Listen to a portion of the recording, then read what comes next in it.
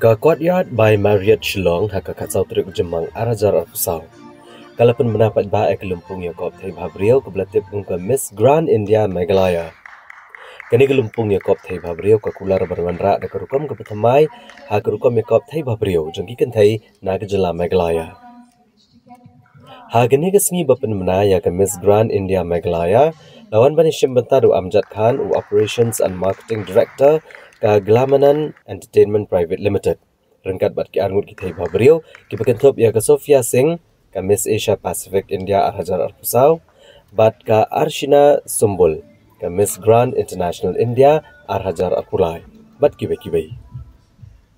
Habakran ni kani kasi ka Wanda Nongbri ka ka State Director ka Miss Grand India Meghalaya kala kada ke jingdan ka man play ya ki lenti ke betamai ki kentai jong ke jela ban ina mel ki sap banmara ka jingkala hak em lang salang Nagaliang kinong peniat ya ka Miss Grand India Meghalaya ki kimi lenti ya ke jing shim benta ki kentai jong ke jela hak ni ke lumpuh extremely honored to sitting over here at this beautiful city, Shillong, and I'm loving it. I'm loving the people, the weather, and everything over here. This is going to be my favorite city from the northeast. I'm just going to you this.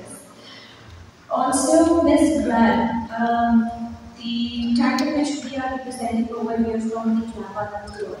This brand was the first pageant which I have been uh, associated with, and I was proud as Miss Tourism. Also, um, the team has uh, another recognized to me. They have uh, recruited my title as Miss Asian Pacific. As you can see that Glamanand Group is one of the best companies which you can associate yourself for the pageantries. We have lots and lots of international and national pageants over here. Miss Grand, Miss Universe, and uh, international pageants such as Asia Pacific, of course, Miss Grand, Miss Universe, Miss Charm, and so on. So um, I would like to say that um, may the best girl from over here should win. And uh, I am extremely looking forward for it. Thank you so much. My name is Arshina Sumbul and I'm the current Miss Grand India 2023.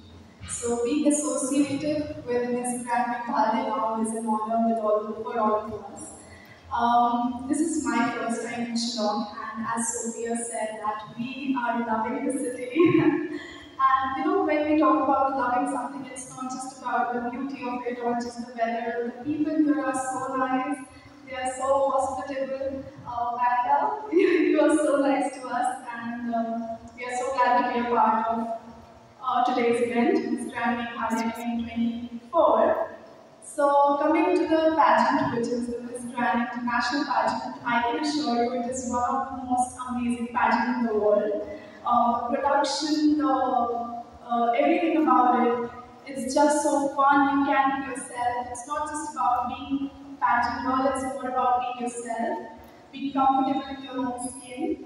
And I can assure that whoever comes to audition for Miss Grand Meghalaya or Miss Grand India is going to have a great time. So I just wish you guys all the best for your pageant and I wish the girls who are getting selected from this region uh, I'm super excited to meet you guys uh, as we already have two contestants ready for this year's competition.